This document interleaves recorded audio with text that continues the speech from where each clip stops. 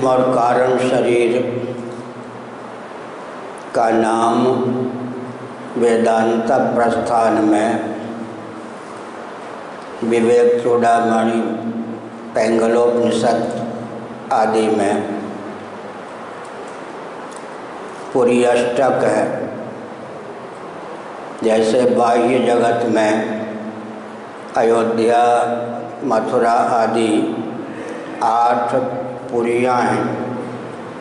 सातवीं पुरी का नाम द्वारका है। आठवीं पुरी का नाम श्री जगन्नाथपुरी है।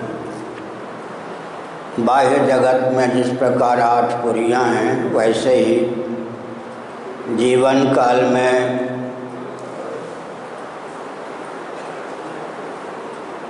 आध्यात्मिक धरातल पर भी आठ पुरियाँ मानी गई हैं।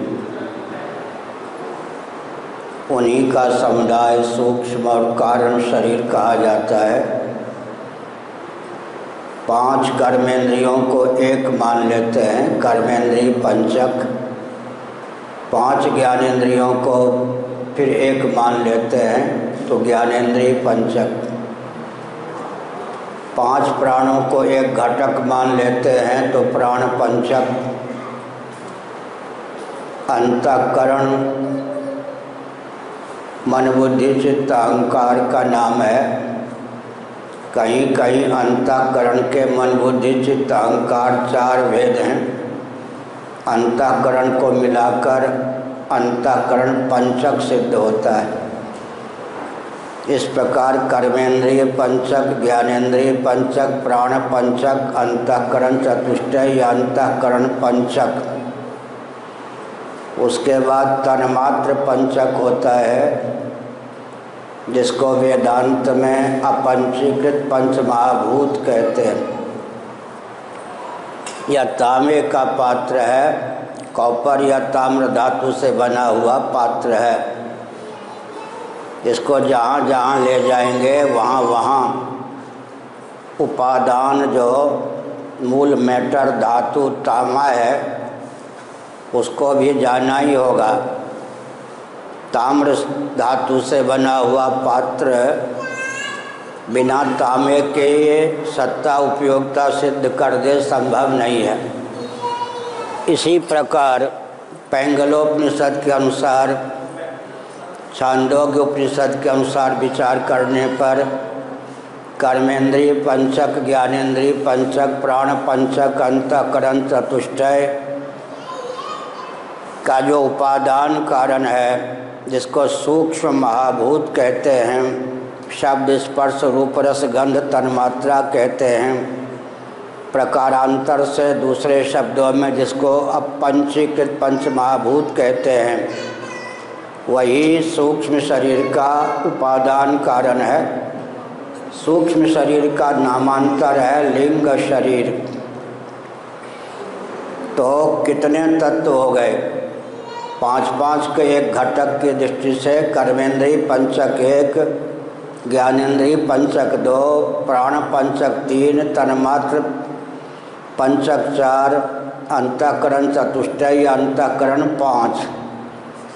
इसके साथ अविद्या छः काम, जिसको इच्छा कहते हैं सात, और कर्म आठ। ये आभ्यंतर जगत में, हमारे आपके जीवन में, जीवन काल में आठ पुरियाँ हैं। एक नियम है, जो कठिन है, मेरे द्वारा बनाया गया है, लेकिन उदाहरण से स्पष्ट हो जाता है। अभिव्यंग की अभिव्यक्ति, अभिव्यंजक के अधीन होती है। अभिव्यंजक के तारतम्य से अभिव्यंग की अभिव्यक्ति में तारतम्य होता है। जैसे विद्युत अभिव्यंग है, उसकी अभिव्यक्ति बल्ब और बादल के अधीन है।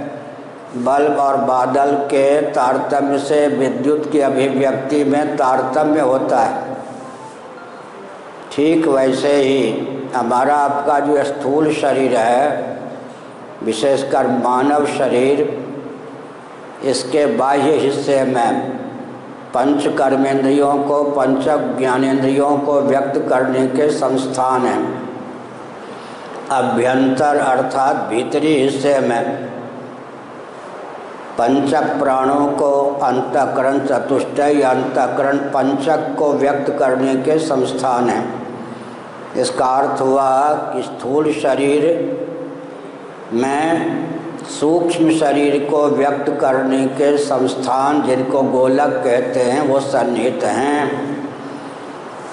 और सूक्ष्म शरीर, कारण शरीर का अभिव्यंजक संस्थान है गाढ़ी नींद में, जिसमें सूक्ष्म शरीर का विलय माना जाता है। सूक्ष्म शरीर का आह्वानात्मक वियोग माना जाता है। उसको अविद्या कहते हैं, उसको कारण शरीर कहते हैं। सूक्ष्म शरीर कारण शरीर का अभिव्यंजक संस्थान है और कारण शरीर जीवात्मा का अभिव्यंजक संस्थान है। जीवात्मा परमात्मा का अभिव्यंजक संस्थान है। तो हमने संकेत किया, जिस शरीर में जीवात्मा है या जीव है, उस शरीर में उसके शुभाशुभ कर्म के फलस्वरूप रहने की अवधि जो है, वह बीत जाने पर, अर्थात जिन जिन कर्मों के फलस्वरूप वर्तमान शरीर की प्राप्ति हुई है, उन उन कर्मों का उतने अंशों में फल भोग लेने पर प्रारब्ध क्षीण हो जाता है। प्रारब्ध माने वे अभुक्त कर्म जो अंतर्यामी परमात्मा की प्रेरणा से फलप्रद सिद्ध होने लगे हैं, फलोन्मुख होकर फल प्रदान करने लगे हैं, उनका नाम प्रारब्ध है। उदाहरण के लिए, एक लाख रुपये किसी ने बैंक में डाला, कालांतर में एक हज़ार रुपया खर्च के लिए निकाल लिया। वो एक हज़ार रुपया प्रारब्ध के सदृश हो गया। इसी प्रकार जिन कर्मों ने फल देना प्रारंभ कर दिया, उन्हीं का नाम प्रारब्ध है। योग दर्शन के अनुसार, वेदांत शास्त्र के अनुसार भी प्रारब्ध के अनेकों फल हैं, लेकिन मुख्य रूप से प्रारब्ध के तीन फल हैं। जाति, आयु और भोग। जाति का अर्थ होता है जन्म, आयु का अर्थ होता है श्वास प्रश्वास की निश्चित अवधि श्वास प्रश्वास का निश्चित कोटा, और भोग का अर्थ होता है प्रारब्ध पर्यंत, सुखप्रद, दुखप्रद, व्यक्ति, वस्तु और उसके सेवन से प्राप्त सुख तथा दुख की अनुभूति। तो जाति आयु भोग ये प्रारब्ध के तीन फल हैं। जितने कर्मों का फल भोगने के लिए यह शरीर मिला है, उसमें जितने भोग और भोग्य पदार्थों को प्रकट करने की क्षमता है, वो दे दे। अब इस शरीर में जीवात्मा के रहने योग्य प्रारब्ध न रह जाए। उस समय जीव इस शरीर का त्याग करता है, लेकिन आपको गर्मी लगे या किसी को गर्मी लगे, ओवरकोट, स्वेटर निकाल दें, फिर भी कोई पुरुष कुर्ता और बनियान जिसको गंजी के कहते हैं, पहने रहें ठीक इसी प्रकार से प्रारब्ध के फलस्वरूप यह जो शरीर है, इससे सूक्ष्म और कारण शरीर सहित जीव तत्व कूच कर देता है। उर्चल हमसा अमर लोक को यह तो देश न तेरा है, पीले पानी, चुगले दाना, चिड़िया, रहन बसेरा है। जिस भोग को भोगने के लिए जीवन प्राप्त हुआ था। जिन जिन कर्मों के फलस्वरूप या शरीर प्राप्त हुआ था, उन उन कर्मों का भोग क्षीण हो जाने पर, जैसे होटल में जब जमा किया, धन, उतना धन का उपभोग कर लिया तो होटल में रह नहीं सकते। इसी प्रकार से इस शरीर में रहने योग्य प्रारब्ध का क्षय हो गया। तब इस शरीर का त्याग करता है जीव, लेकिन दो शरीर उसके बचे रह जाते हैं। उसका नाम है सूक्ष्म शरीर और कारण शरीर। उसी को मैंने विस्तार पूर्वक पुर्यष्टक कहा। तो यह जो जीव है, सूक्ष्म और कारण दो शरीरों के सहित, इस शरीर को जब छोड़ने के लिए बाध्य हो जाता है, अंतर्यामी परमात्मा की प्रेरणा से इस शरीर का त्याग कर देता है, उसी का नाम मौत है, मृत्यु। सूक्ष्म कारण शरीर रूप पुर्यष्टक सहित जीव कला विहीन शरीर का नाम शब हो जाता है। कदाचित सत्यवान को जैसे फिर जीवित कर दिया उनकी धर्मपत्नी सावित्री ने भगवान यमराज के अनुग्रह से, उसी शरीर में उस सत्यवान का सूक्ष्म कारण शरीर सहित प्रवेश हो गया तो फिर जीवित रहे आयु पर्यंत। इसी प्रकार भगवत पाद आदि शंकराचार्य ने अपने शरीर को योग बल से सब बना दिया और अम्बरूक राजा के सब शरीर में पुरियष्टक सहित जीव कला को प्रविष्ट कर दिया।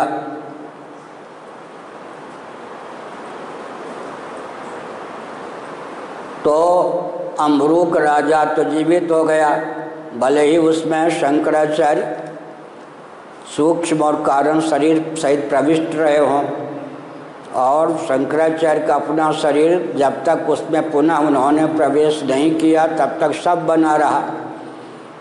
अब मैं एक उदाहरण देता हूँ बृहदारण्य उपनिषद श्रीमद् भागवत के अनुसार।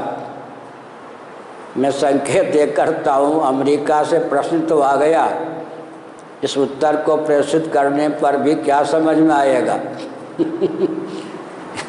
अमेरिका से ही सारा काम चल जाता है या भारत में? जितना मैं उत्तर दे रहा हूँ, उसको समझने के लिए पाँच घंटे रोज दस साल का परिश्रम चाहिए। उत्तर तो मैं दे रहा हूँ, लेकिन एक ग्रंथ से रही पचासों ग्रंथ का भाव मेरे हृदय में है। उन सबको संकलित करके दे रहा हूँ। मैंने संकेत किया। सो अभी पूरा नहीं हुआ है उत्तर। हाँ अच्छा आप हैं। नारायण।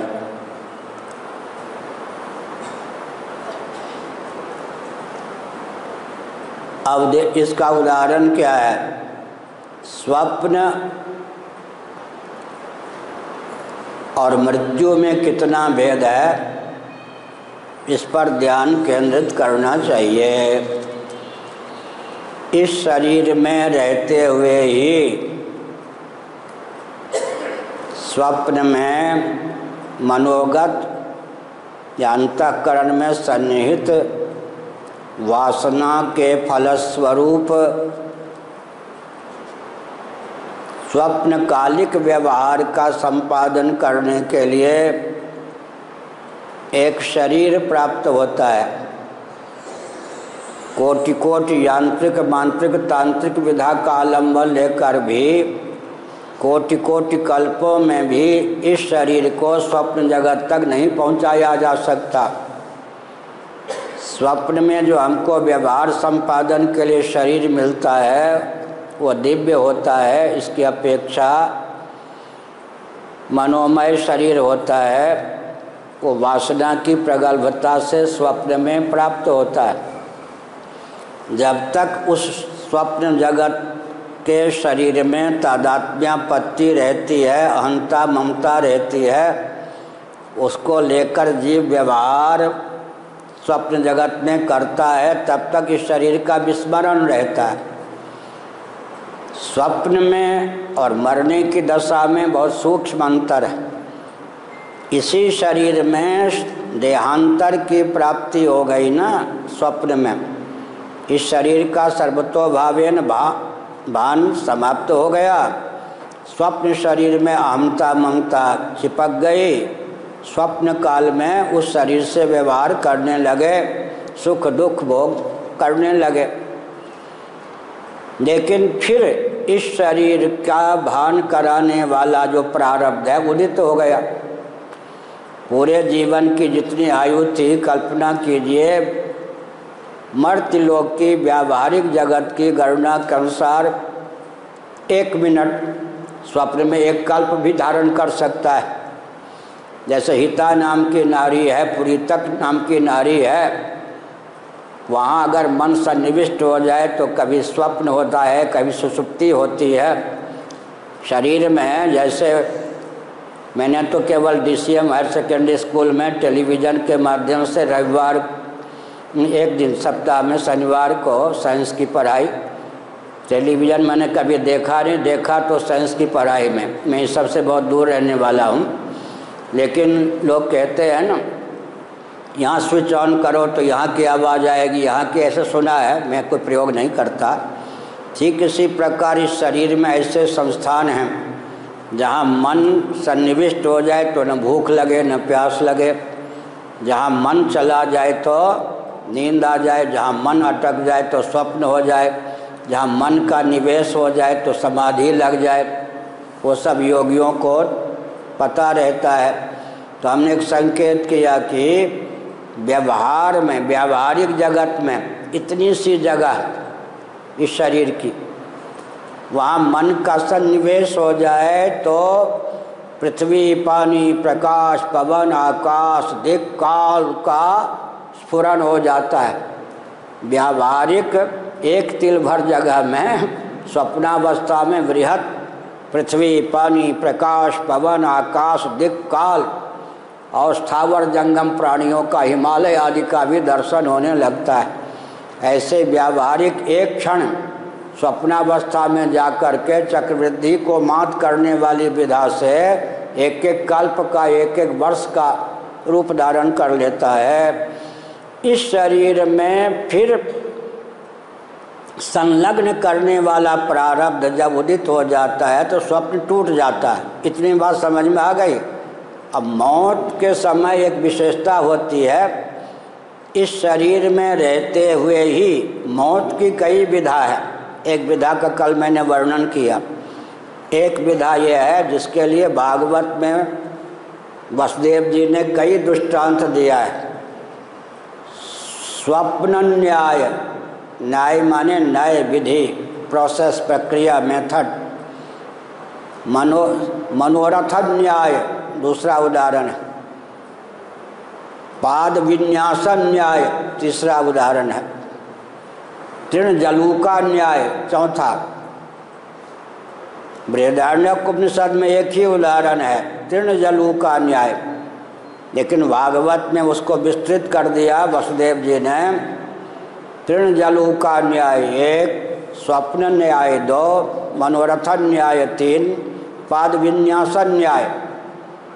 एक प्रकार की मौत में ये दृष्टांत है। तृण जलूका न्याय का अर्थ क्या होता है? जलूका माने जौक। एक जौक होती है पानी में। हम लोग खूब तैराकी थे। इतना बढ़िया तैराकी थे गोमती नदी में भी, गाँव में जीवछ नदी में और नैमिसारण में गोमती नदी में। एक एक किलोमीटर तक हाथ पाँव चलाए बिना शवासन में तैर लेते थे। लोग समझते थे कि मुर्दा कोई बह रहा इतना बढ़िया तैराकी रहे हैं। एक एक किलोमीटर तक बिना हाथ पाँव चलाए एकदम ऐसे करके तैरना भी आता था। हाथ पाँव चला के भी तैरना आता था। डुबकी यहाँ लगाए, वहाँ निकला। तैराकी बहुत अच्छे थे। तो हमने एक संकेत किया, एक तीर्ण जल, एक जलूका होती है, क्या करती है? चिपक जाए तो रक्त चूस के मोटी हो जाती। एक जलूका होती है पृथ्वी पर। तिनके के समान पतला शरीर होता है, वो कैसे चलती है? एक हिस्सा पीछे का हिस्सा यहाँ रखा, आगे का हिस्सा यहाँ। फिर वहाँ पीछे का हिस्सा ले गई, फिर आगे का।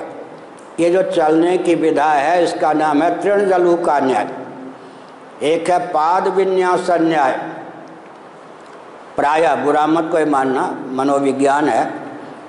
अगर वृंदावन में कोई पुरुष स्त्री भावापन ना हो जाए उपासना में तो या स्त्रियों का संग अधिक न करे तो देवियाँ जो होती हैं, उनका बायां पाँव पहले उठता है चलने में। पुरुष जो होते हैं, प्राय उनका दायां पाँव पहले उठता है चलने में। इसका नाम है पाद विन्यास न्याय। ऐसे खड़े हो जाएँगे तो कितना चल पाएँगे? मेढक के समान उछल उछल कर चलना पड़ेगा। अधिक दूरी तय नहीं कर सकते हैं।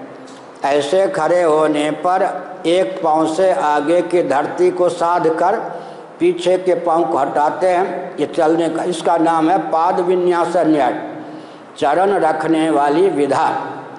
प्रोसेस मेथड एक है स्वप्न, जिसका उदाहरण दिया। इस शरीर में रहते ही स्वप्न में स्वप्न के अनुकूल व्यवहार को साधने के लिए एक शरीर मिल जाता है। एक है मनोरथ न्याय ख्यालिया पोलाव, जिसको उर्दू में कहते हैं। शेख चिल्ली न्याय भी, जिसको उर्दू में कहते हैं, शेख चिल्ली। क्या मतलब हुआ मनोराज्य में, मनसूबा में एक शरीर मिल जाता है। ठीक इसी प्रकार इस शरीर में रहते ही आगे जिस प्रारब्ध का उदय होना है नए शरीर को प्रदान करने के लिए, इसी शरीर में उदित हो जाता। क्या? देहांतर के पहले ही अग्रिम देह की प्राप्ति हो जाती। है देह का त्याग बाद में होता है, लेकिन जो शरीर आगे प्राप्त होना था, भाव राज्य में पहले मिल जाता है। उसी को उदाहरण देते हैं, जैसे देह त्याग के अव्यवहित पूर्वक क्षण में, ठीक पूर्वक क्षण में। मृगाकार वृत्ति हो गई राजर्षि भरत की, जिनके नाम पर देश का नाम भारतवर्ष पड़ा। मृगाकार वृत्ति माने मन मृग के आकार का बन गया भाव राज्य में। जर भरत नहीं, राजा भरत ऋषभ देव जी के ज्येष्ठ पुत्र वो भरत के शरीर में रहने वाला प्रारब्ध टूट गया। वो मनोराज्य में जो मृग का शरीर बना था, वही पुर्यष्टक सूक्ष्म और कारण शरीर के सहित इस शरीर से निकल पड़ा। कालांतर में मृग दंपति, मृग परिवार के संसर्ग से भाव राज्य का शरीर पूर्ण रूप से व्यावहारिक जगत में मृग शरीर बन चुका। दूसरी बात है आज अगर कोई देह त्याग के बाद देवता बनेगा तो माता पिता के संसर्ग की आवश्यकता नहीं है। कल्प के प्रारंभ में कश्यप जी की पत्नी अदिति के गर्भ से इंद्रादि देवताओं का प्रादुर्भाव होता है। आज अगर कोई देह त्याग के बाद देवता बनेगा तो भाव राज्य का जो देव शरीर है, वही पहुँच जाएगा देवलोक में। आज अगर कोई मरने के बाद भूत प्रेत बनता है डाकनी शाकनी चुड़ैल, पिशाच उसको माता पिता के शरीर की आवश्यकता नहीं है। दुरित के प्रभाव से देहत्याग के अव्यभित पूर्वक क्षण में जैसा विकराल, काला, कलूटा, भयंकर स्वभाव से युक्त शरीर मिला, उसी शरीर से वो लोकांतरों में चला जाता है। महाभारत में बहुत अच्छा उदाहरण है। भारद्वाज महर्षि का नाम सुना होगा। देवगुरु बृहस्पति के अंश से भरद्वाज। भरद्वाज ऋषि के अवतार थे द्रोणाचार्य। द्रोणाचार्य कौन थे? अवतार थे। भरद्वाज ऋषि के अवतार थे द्रोणाचार्य। युद्ध के पंद्रहवें दिन पांडवों ने ऐसा घेर लिया कि दुर्योधन पक्ष के व्यक्ति उनके रथ तक तीर बाण पहुँचाने में सफल नहीं हुए। अर्जुन के पास से उस प्रकार की सामग्री थी कि उनके बाण वरदान के प्रभाव से क्षीण नहीं होते थे, भरा रहता था। लेकिन औरों को तो बाण चाहिए। जितने बाण थे, युद्ध में प्रयोग कर दिया, नए बाण पहुँचाए नहीं गए। इतने में इतने में ऋषियों ने क्या किया? हंस पक्षी का रूप धारण करके। नभो मार्ग से जहाँ द्रोणाचार्य जी रथारूढ़ थे उड़ कर कहा, सावधान, आप ब्राह्मण हैं। फिर भी युद्ध करते रहे हैं, कर रहे हैं। अब आपके देह त्याग का क्षण आ चुका है। हम दिव्यदर्शी, महर्षि आपको सावधान करते हैं। हंस पक्षी का रूप धारण कर। आप क्षत्रियोचित विधा से नहीं ब्राह्मणोचित विधा से ध्यान करते हुए देह त्याग करें, यह हमारी भावना है। उधर अगर युधिष्ठिर कोई संवाद दे देंगे, ये सत्यवादी हैं तो विश्वास कर लूँगा। अर्जुन आदि झूठ भी बोलते हैं। भगवान ने कहा कि धर्म की रक्षा कर, ये मारे नहीं मरेंगे, इतने बड़े प्रतापी हैं। अश्वत्थामा इकलौता बेटा, बड़ा प्यारा है। अश्वत्थामा मर गया और चिरंजीव भी आज भी अश्वत्थामा है। असंभव जैसा है कि युद्ध में अश्वत्थामा मार दिया जाए। लेकिन अगर तुम बोल दोगे तो तुम्हें सत्यवादी समझते हैं, द्रोणाचार्य। समझ गए? तुम्हारी बात पर विश्वास कर लेंगे। इतना प्रेम, लार, प्यार, वात्सल्य अश्वत्थामा के प्रति है कि बस वो शरीर छोड़ देंगे वियोग में। काम बन जाएगा हम लोगों का। ऐसी परिस्थिति में धर्म की रक्षा के लिए झूठ बोलना अनुचित नहीं। भगवान के कहने पर भी धर्मराज विष्ठिर ने कहा, बात तो गड़बड़ है। द्रोणाचार्य विश्वास तो कर लेंगे, मैं सत्यवादी हूँ। कुछ तो नमक मिर्च मिला देना चाहिए। क्या? कुछ तो। तो क्या, किया अश्वत्थामा नामक एक हाथी भी था, उसको मार दिया। अब कहा अश्वत्थामा मारा गया। आगे धीरे से बोले, नर अथवा गज। भगवान इतने ज़ोर से शंख बजाया कि सुनाई नहीं पड़ा द्रोणाचार्य को हमने भी भगवान के एक आज्ञा का उल्लंघन किया, उसका फल भोग रहा हूँ। कहीं एक जगह पवित्र स्थान का नाम नहीं लेंगे। बाबा होने के बाद मुझे भयंकर विष ला कर दिया गया कि आपको तुम्हें पिला दूँ या पियोगे। फिर कहा कि आपको जो रोग है उसको दूर करने की दवा है। हमने कहा, झूठ बोलते हो मुझे कोई रोग नहीं है, मैंने कोई दवा मंगवाई नहीं है। तुम विष लाए हो। हाँ आप तो जानते हो, अधिपति जो इस आश्रम के हैं, उनकी प्रेरणा से भयंकर विष लाया हूँ। या तो पागल होना या मर जाना, तीसरा फल कुछ नहीं है इसका। तो मैंने कहा कि तुम्हारे सामने अगर पी लूँगा, उनकी आज्ञा है पी लो। मैंने कहा, तुम्हारे सामने पीऊँगा, कहीं तुमको कोई ना कोई इधर उधर से जेल में न डाल दे। मेरा तो कोई है नहीं भगवान के अलावा। चिन्मयानंद जी महाराज भी बेहोश पड़े थे संग्रहणी के कारण, हिलडुल नहीं सकते थे।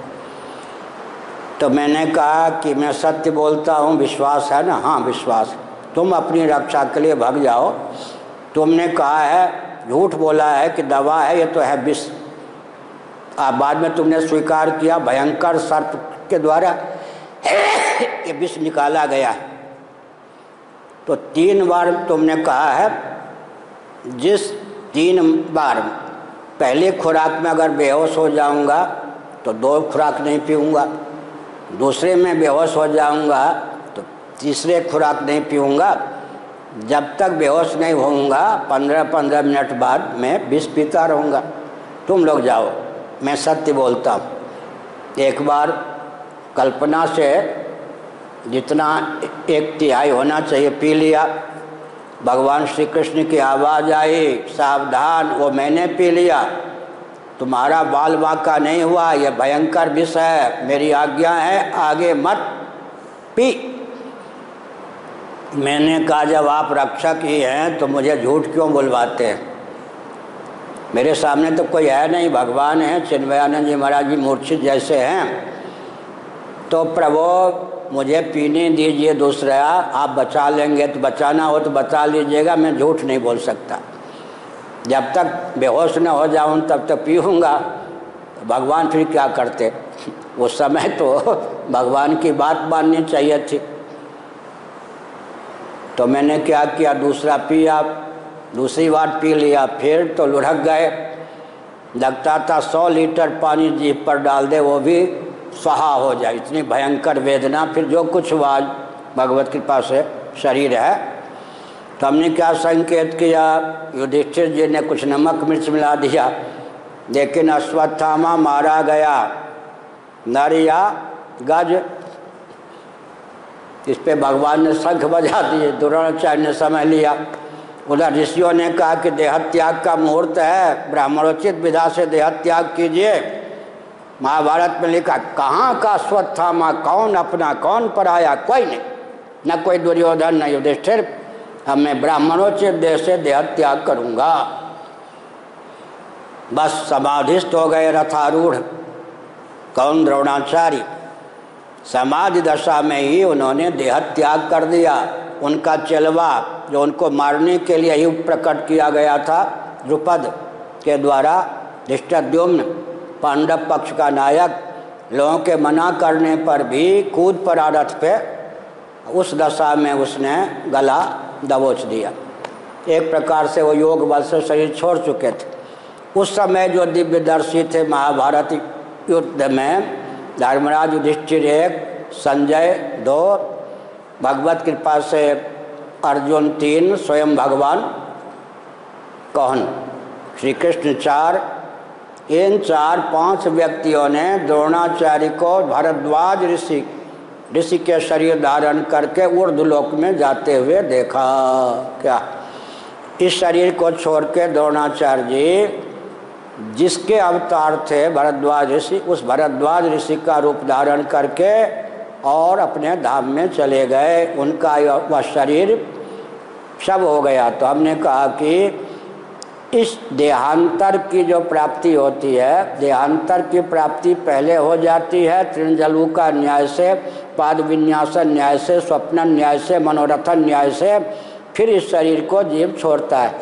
स्वप्न के बाद इस शरीर का भान कराने वाला प्रारब्ध जग पड़ता है, लेकिन जब मृत्यु का योग आता है, तब भाव राज्य में पाप या पुण्य से जैसा शरीर मिलता है, उस शरीर को लेकर ही फिर जीव चला जाता है। किसको लेकर?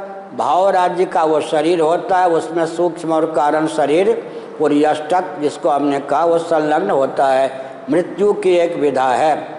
इसलिए हमने संकेत किया कि जीव इस शरीर को जब छोड़ देता है, उसी का नाम मृत्यु है। अब सदगति की बात, भाव राज्य में शरीर तो मिल गया, लेकिन दैव योग से उसके शरीर का उत्तम ढंग से दाह हो गया। अगर दाह के लिए अधिकृत है, हम लोगों का शरीर तो अग्नि स्पर्श नहीं कर सकता। सन्यासी हम लोग हैं, विधिवत संन्यास लेने वाले। हमारे शरीर प्रैसाग्नि, एक विशेष मंत्र होता है, उस मंत्र रूप अग्नि से जला होता है।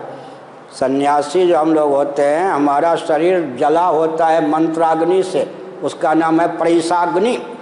बाहर के लोगों को दिखता है कि शरीरधारी हैं, हम लोग शरीरधारी नहीं होते।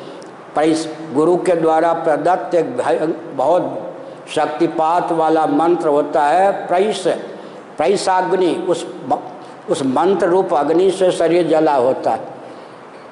फिर ज्ञानाग्नि भी कहीं हो तत्व ज्ञान भी हो तो दो दो अग्नियों से शरीर जला होता है। प्रारब्ध पर्यंत लोगों को तत्व का जीवन दिखता है, सन्यासी का। वस्तुतः तो दो दो अग्नियों से अगर कोई ज्ञानी तत्वदर्शी महात्मा है तो जला होता है। तो हमने क्या संकेत किया?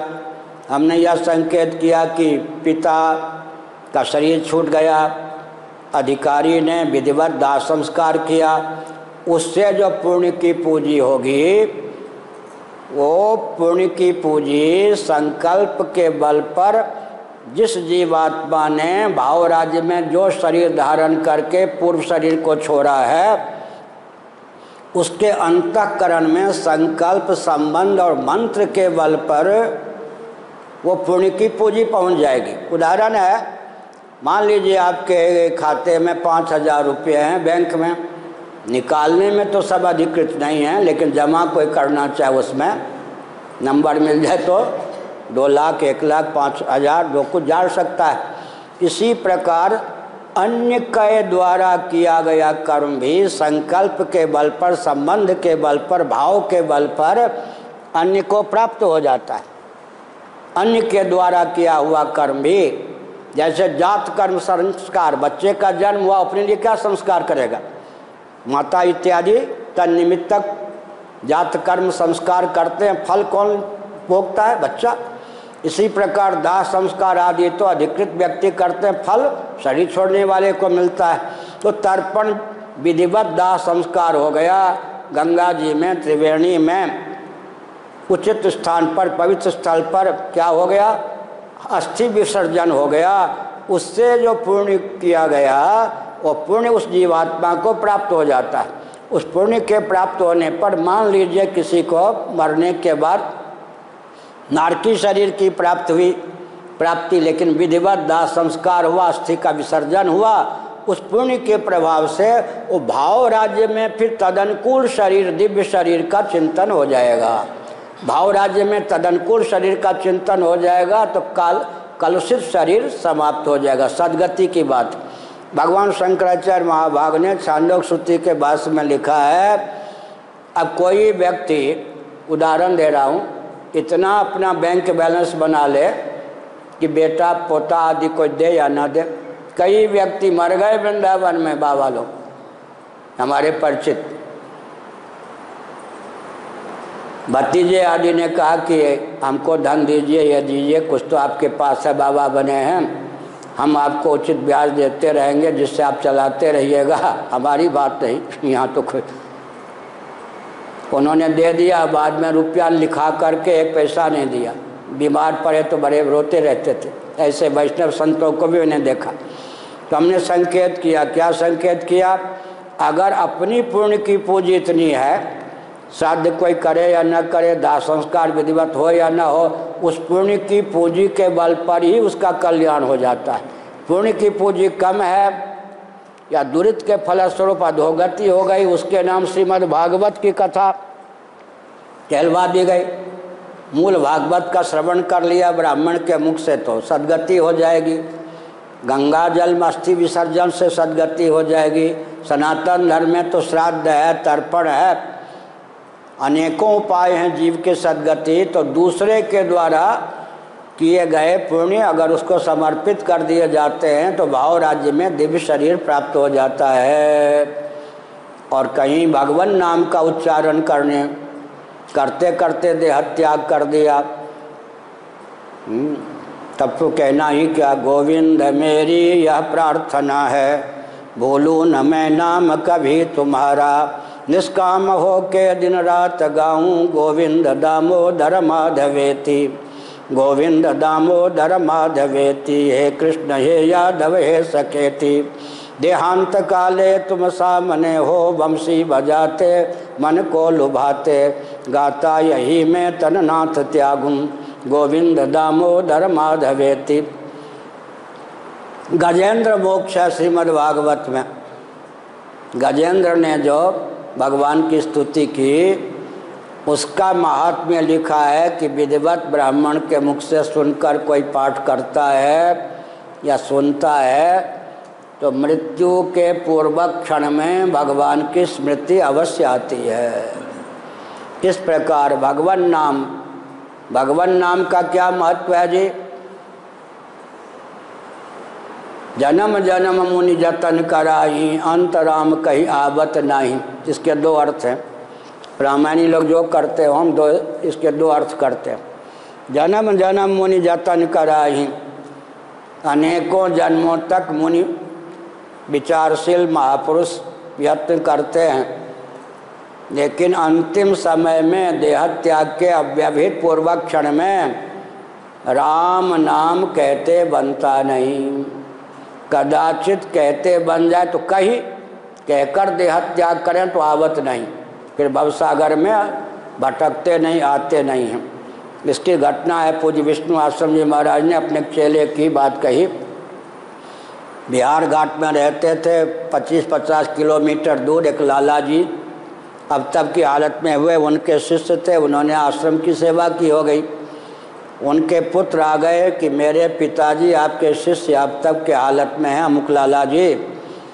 कार लेके आया हूँ, बड़ी कृपा हो, अंतिम समय में आप उन्हें दर्शन दे दें। उन्होंने कहा, ठीक। वो भक्त था, शिष्य था। आश्रम की सेवा भी की थी, मेरा क्या लगता, चल। वहाँ गए, विष्णु आश्रम जी महाराज ने हमको बताया, दंडी स्वामी जी ने वो कह रहा था कोका कोला कोका कोला शिष्य ने कहा, उसके बेटे ने, कि आपके शिष्य मेरे पिताजी कोका कोला मांग रहे हैं। मालूम है आपको? आप लोगों को मालूम ही होगा, चढ़ाते होंगे कोका कोला एक नंबर का कोका कोला जिसमें मदिरा का अंश होता है, सांकेतिक शब्द है। दुकान वाले से कह दें, एक नंबर का देना भाई। मदिरा का जिसमें मदिरा सन्निहित तो उसको एक नंबर का कोका कोला कहते हम दिल्ली के विद्यार्थी रहे, दिल्ली के सब टेक्निकल वर्ड शब्द एक नंबर का कोका कोला का अर्थ होता है मदिरायुक्त उन्होंने कहा, नहीं, मुँह में गंगा जल डालो। देखिए, वासना कहती थी कोका कोला पी के मरूं। पुण्य कहता था। गुरुजी साहब ने थे ना ना, मेरी आज्ञा मान। तुम्हें पाप नहीं लगेगा, मुँह में गंगा जल डाल। ठीक? चला, बेटा ने समझ लिया कि पिता का हित तो गुरु की आज्ञा के पालन में। उसके बाद कहा, ज़ोर से इसके कान में कहा, पिताजी, राम राम कहिए, अंतिम समय है। पिता ने क्या कहा, बेटो, जो तुम मुझसे कहने को कहते हो, वह तो मुझसे कहा नहीं जाता। बैठिए बैठिए। प्रवचन चल रहा समझ गए ना? इतना लंबा वाक्य बोला। ये भी नहीं कहा, राम नहीं कहा जाता। बेटो, जो तुम मुझसे कहने को कहते हो, वह तो मुझसे कहा नहीं जाता। और शरीर छोड़ दिया। पुण्यात्मा तो था, लेकिन कान के माध्यम से मन में राम नाम तो पहुँच गया। तो हमने संकेत किया, भगवान नाम का चिंतन करता हुआ देह त्याग करे तो सदगति होती है जामिल नारायण ब्याज से बेटा को पुकारा राग के कारण। एक महात्मा ने कहा, तू तो पापी तापी है। मेरी एक बात मान ले, बेटे का नाम नारायण ही रख ले। मरते समय बेटे की याद आई, नारायण यमदूत आ गए पापी की जीव, जीवात्मा को लेने के लिए। भगवान के दूत आ गए। भागवत में अच्छा संवाद है। अरे, भाव को भाव, इसके मुख से तो निकला है ना, नामाभास इसको कहते हैं।